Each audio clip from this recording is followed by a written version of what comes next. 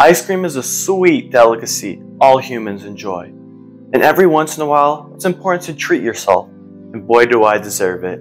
The ingredients for today's ice cream recipe will only call for two ingredients, which is condensed milk and heavy cream. However, if you want to have like some pizzazz in your ice cream, you can get vanilla, chocolate, any types of fruit, maybe like caramel or peanut butter. Just be creative. The first step is pouring two cups of heavy cream into a KitchenAid or if you have a hand mixer, you can use that, but we're just gonna try to whip it up to get those nice peaks in there. Two cups of heavy cream. Ooh, look at that thick stuff.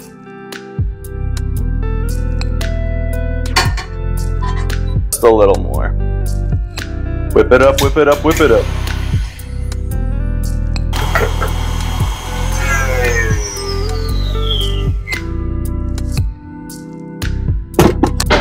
Just look how frothy that is.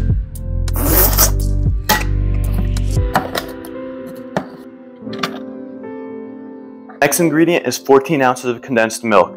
We're gonna slowly pour it into the peaked whites while we turn it gently in.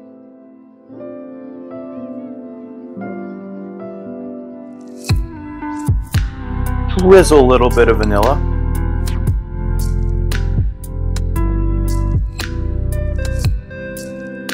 Now crush up half the chocolate bar and put it in.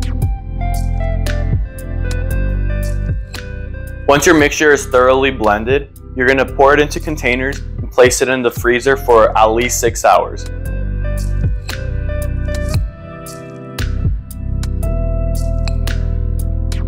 It's been around six hours and I couldn't help myself. I had to dig in. But here goes the taste test. Mm creamy, sweet. One of the best ice creams I've ever had. It's really fatty and unhealthy, but you gotta try at least one time. If you guys enjoyed this video, make sure to check out my channel and check out any other videos. Don't forget to like and subscribe, but I'll see you guys next time. Peace.